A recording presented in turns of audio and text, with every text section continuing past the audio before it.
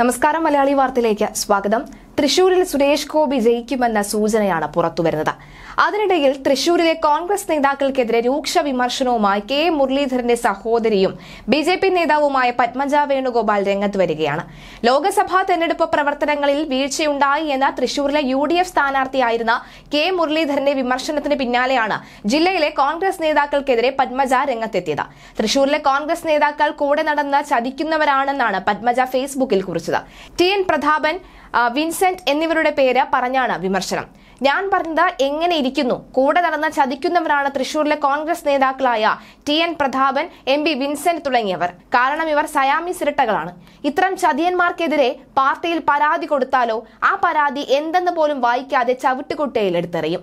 രമേശ് ചെന്നിത്തലയുടെ നോമിനിയായി ഡൽഹിയിൽ പോയ രമേശ് ചെന്നിത്തലയെ ചതിച്ച് കേരള മുഖ്യമന്ത്രിയാകാൻ കരുക്കൾ നീക്കുന്ന കേരളത്തിൽ നിന്നുള്ള അഖിലേന്ത്യാ കോൺഗ്രസ് ഗ്രൂപ്പ് നേതാവിന്റെ എന്റെ അച്ഛൻ ഏറ്റവും കൂടുതൽ സ്നേഹിച്ചതും എന്റെ അച്ഛനെ ഏറ്റവും കൂടുതൽ ദ്രോഹിച്ചതുമായ ആൾ.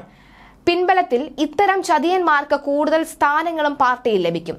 അതാണ് കോൺഗ്രസ് എന്ന പത്മജ ഫേസ്ബുക്കിൽ തുറന്നടിച്ചു. കഴിഞ്ഞ ദിവസം കെ യോഗത്തിലാണ് കെ മുരളീധരൻ തൃശൂരിലെ കോൺഗ്രസ് നേതാക്കൾക്കെതിരെ ആഞ്ഞടിച്ചത്.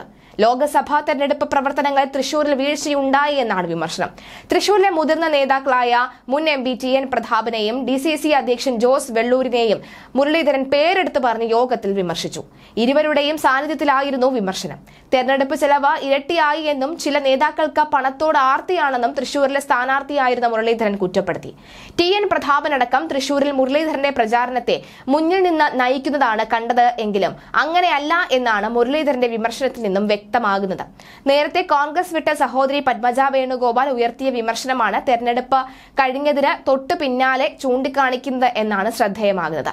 സംഘടനാ ചുമതലയുള്ള general secretary K C Venugopal കേരളത്തിന് ചുമതലയിലുള്ള Deepadas Munshi K P C C രാഷ്ട്രീയകാര്യ സമിതി അംഗങ്ങളടക്കം പങ്കെടുത്ത യോഗത്തിലാണ് കെ മുരളീധരൻ നേതാക്കൾക്കെതിരെ വിമർശനം ഉന്നയിച്ചത്.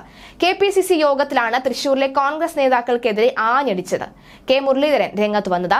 ലോക്സഭാ തെരഞ്ഞെടുപ്പ് പ്രവർത്തനങ്ങൾ തൃശൂരിൽ വീഴ്ചയുണ്ടെന്ന് തന്നെയാണ് വിമർശനം ശക്തമായി വരുന്നത്. എന്തായാലും നിലവിൽ ഇത്തരം വിമർശനം ശക്തമാകുമ്പോൾ ഒരു മുന്നറിയിപ്പ് എന്നത് കൂടിയാണ് ഉള്ളത്. നേരത്തെ തന്നെ പത്മജ വേണുഗോപാൽ ചേട്ടനെ ഞാൻ ബി ജെ പിയിലേക്ക് ക്ഷണിക്കുന്നു. അധികം വൈകാതെ അദ്ദേഹം അവിടേക്ക് തന്നെ വരുമെന്ന് പറയുകയുണ്ടായി. ഇനി അതിന്റെയൊക്കെ തന്നെയുള്ള മുന്നിൽ ഒരു അതിനൊക്കെ പോകേണ്ട ആ ഒരു യാത്രയ്ക്ക് മുന്നിലുള്ള പല സംഭവ വികാസങ്ങളാണോ ഈ നടക്കുന്നത് എന്നാണ് പലരും ചോദിക്കുന്നത്.